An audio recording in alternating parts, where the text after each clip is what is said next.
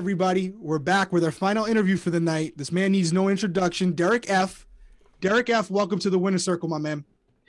Derek and Cody, thank you so much. You guys are my motivation. Okay. Y'all helped the brother out. Listen, I'm just the black version of you guys. Okay. Keep that in mind. All right. Yeah, man.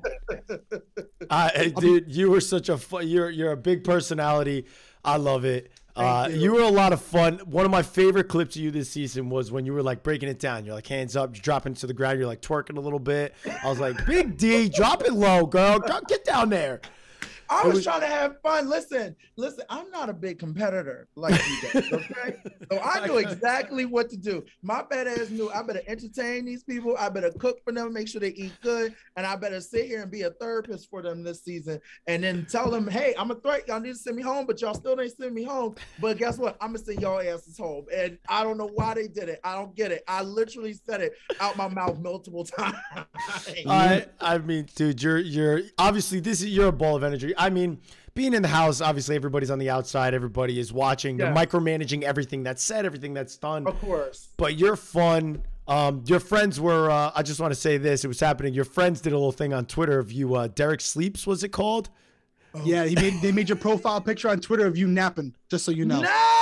Yes. Show them. Yo, Adam and Laura, Adam, Adam and Lauren. Am I saying oh, that right? Lauren and Adam are done when I get home. They so it happened. Done. We did. We shouted out your podcast too on the Winner Circle because you yep. always mention it. So you know, Thank it's you. all love. It's the always regular, all love. Regular show, baby. Go check it out. That's my brand. I do that with my best friend Adam. I love him. That's why I do all my silly stuff at. That's where you can really see who I am even more. So you you can't sit here and say, "Oh, this kid just put it on the act." No, this is me. I will do every damn thing to entertain. Okay, because I mm-hmm. love talking, as you can see. Y'all yeah. give me a mic. I'll be on y'all show next. Okay. hey man, all right, we'll so let's get down. Let's yeah. get down to the meat and potatoes, right? Let's do yeah. it, Cody. let's do question it, question number one. So first of all, congratulations getting to the final two.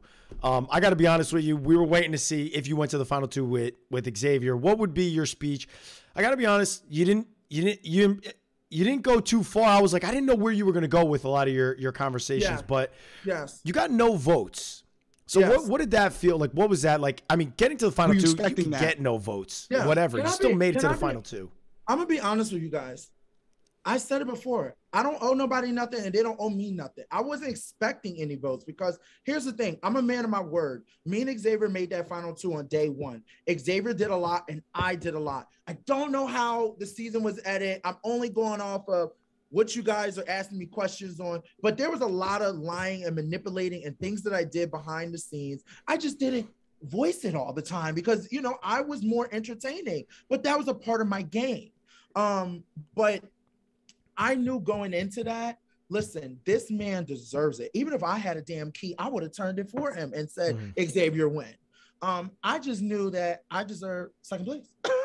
I felt like with me putting the cookout together, Xavier coming up with the name, the cookout, us working together, being there emotionally for everyone, scheming and lying and manipulating and you know, babysitting people. I had to babysit people to make sure they don't have conversations with each other, you know, especially when I was a have not. You know, I'm like, oh wait, Alyssa and Claire's going to bed.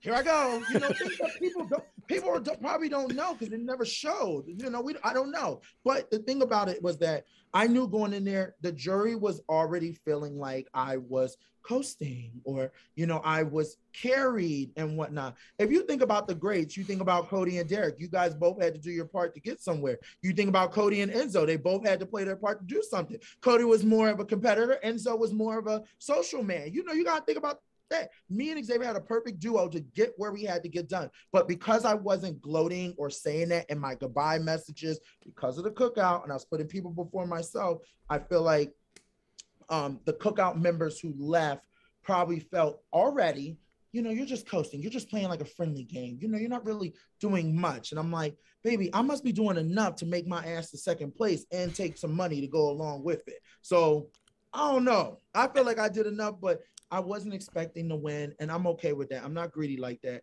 Maybe this is not my season. Maybe I need an all-star season, and then I can come back and win and don't gotta worry about nobody else. well, dude, I love that you're a straight shooter. I mean, that's how it's got to be. That's what that's what we love about you. You're gonna be transparent, and yes. that kind of that's where I want you to clarify first, because just so you know, you're just getting out. Yes. You said that you started the cookout. We talked to X a little while ago. He said that you kind of went. We talked to Tiffany as well. She said you went around to everyone. Yes. A lot of America thinks that yes. That Tiffany started the cookout. Jeez. What do you what do you say to that? I what, love this guy. what summarize, summarize, what really went down because tell us where you're coming from. This is your opportunity to say, hey, this is yes. where it's really at. Yes. So I'm gonna say this, Derek and Cody. I think you guys understand because you did this show, you've been mm-hmm. a part of this. I was more the funny guy. So a lot of things they're gonna show is what? Me being funny.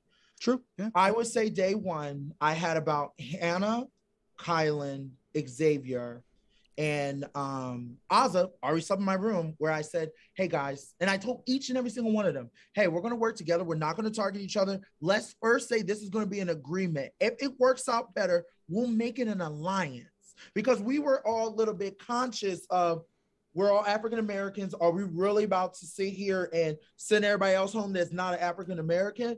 But we had to sit down and realize we're just doing exactly what everybody else do because every other season, all the white people work together and they send out sometimes the the the minorities, the older people, the the the women, you know. So we're not doing nothing wrong. We're just six individuals that want to work together. Um, but that I would say that first week is when I had that conversation. And then the day we were in the kitchen, it was me, Xavier, and Tiffany. And Xavier's like, Yeah, we gotta come up with a name. We gotta come up with a name. And I'm like, All right, what should it be? And he's like, You know, maybe the barbecue, the cookout. I'm all the cookout. And we all agree with that. But I put all the individuals together. Now, what happened was I almost forgot about Hannah. I almost forgot about Hannah. You know, I was like, Oh, Hannah's one of us. Oh, okay. we saw. you know, I almost forgot about Hannah. So Tiffany reminded me, but I already had a conversation with Hannah. It was just one of those things where I forgot. But I put all of them together. Now, think about it. In Big Brother history, what normally happens? We're all gonna get together, powwow. Woo! Yep. We didn't do that. So yep. it's not. It's gonna be hard to sit there and say, well, I didn't really see Big D bring everyone together and do that. I did it one by one, but yep. I didn't need to take, I didn't need to do that powwow because that was the mistake that people make every season. When you see individuals go, what happened? What happened to the damn slaughterhouse? They all slaughter each other because we all disappeared to go upstairs to go have a woo slaughterhouse. And I said, they all gonna damn slaughter each other. And I'm gonna watch it and I'm gonna have, make it happen. You get what I'm saying? So, you know, unfortunately, um, I mean, I'm glad that other people said that I did start it um, but you know, the fans are it is what it is, and you guys you have to hey, you have to cover it on the regular Degular show, right? Yeah, I'm. Oh, you wait, because I'm you about like to that? get them together. They thought I was worse on TV. Now I ain't got no filter. Now I'm at the hey, door. You are What's who up? you are. Well, I, yeah. I, I do. I love that. I love that. And obviously, you're gonna come out. You're gonna know the Big Brother fandom. It is what it is. You yeah. deal with the good. You deal with the bad. Uh, because you know I'm from Philly, so I'm oh, I know. Philly. I don't care about that. I already I know. I already know. wrong, wrong one. Wrong. Definitely the wrong one. So, but hey, yes. Listen, it is what it. D, D what are we on question two? I don't even know. No, we're on question three. So question listen, two. this is your opportunity right here. You know, you know the question you want to ask it, Code? Yeah, I got the question. Go for it. So I thought it was hilarious, bro, and I, it made you so much more real. How you could just say it in your speech, talking about yourself. You're like, and I knew I couldn't win no damn competition. So yes. I, I, loved it. So let me ask you, what yes. competition would you have won if they threw it into the Big Brother house? What were you looking for? What, what were I you was looking, looking for? sandbags, and I was looking for strength competition. Now look at my big ass Derek. You know what? It, you, Derek, you know.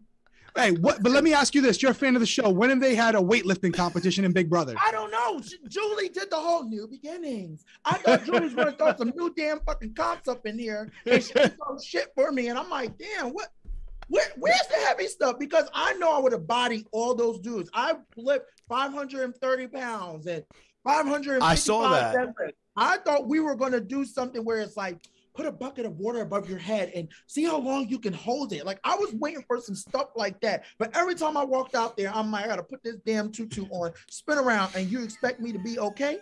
I am yeah. hyperventilating, baby. I can't even breathe. I will say. Listen, Go ahead, Cody. I was gonna say, I will say, I will say this: the egg competition was one I should have won. I was so close, and I know you guys felt it because I was like, "Fuck!" You know, I yeah. said it loudly so the whole world can hear it. Excuse me, I'm so sorry. I don't know if I'm allowed to curse, but I, I don't like, know either. But we're live, so we're live. So we're rolling. So um, D, what were you? D, what were you gonna say?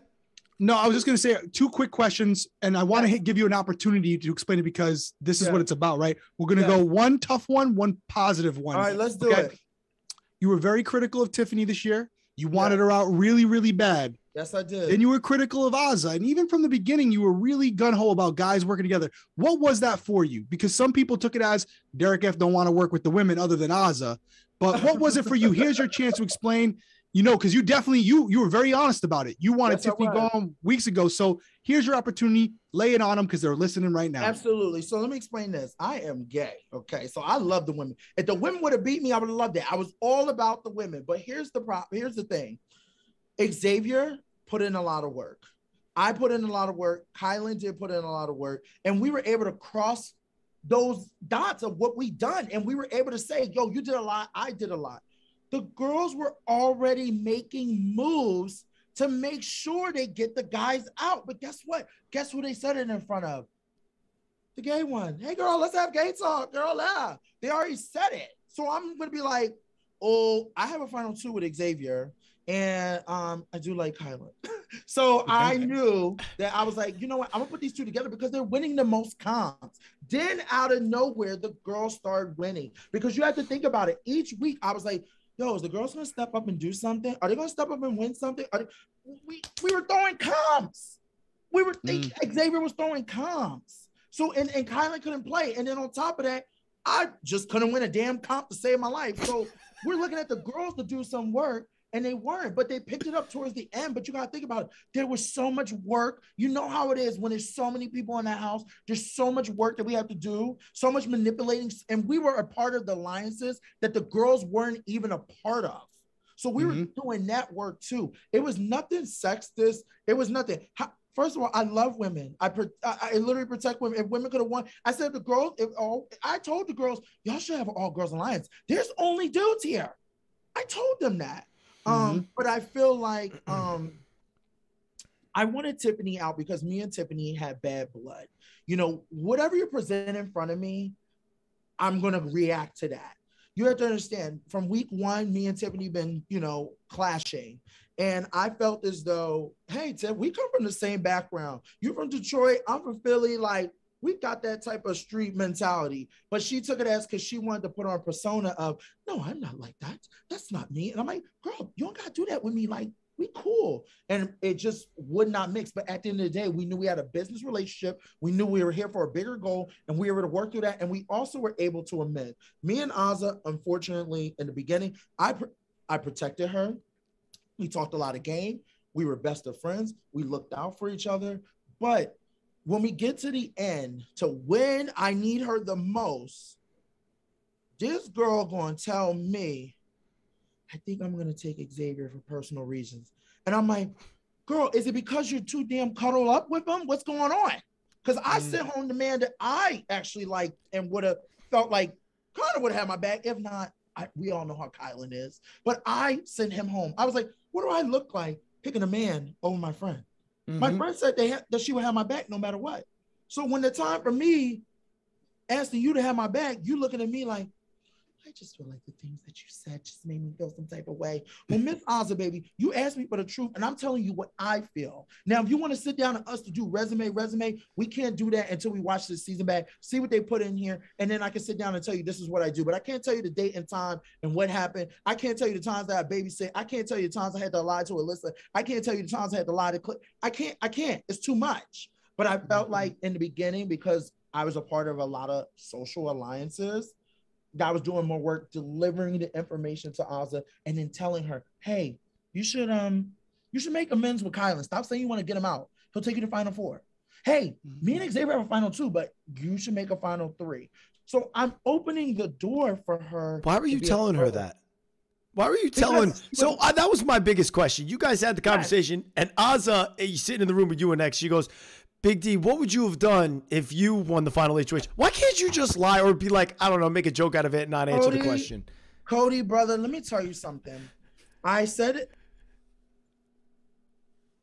You muted yourself, Derek. You muted yourself, I think, D. You muted sorry. yourself. I, yep. I said, sorry, my fault. I said I was going to be honest with Miss Azah. Mm-hmm. And I thought because we have a friendship that she already knows what it is.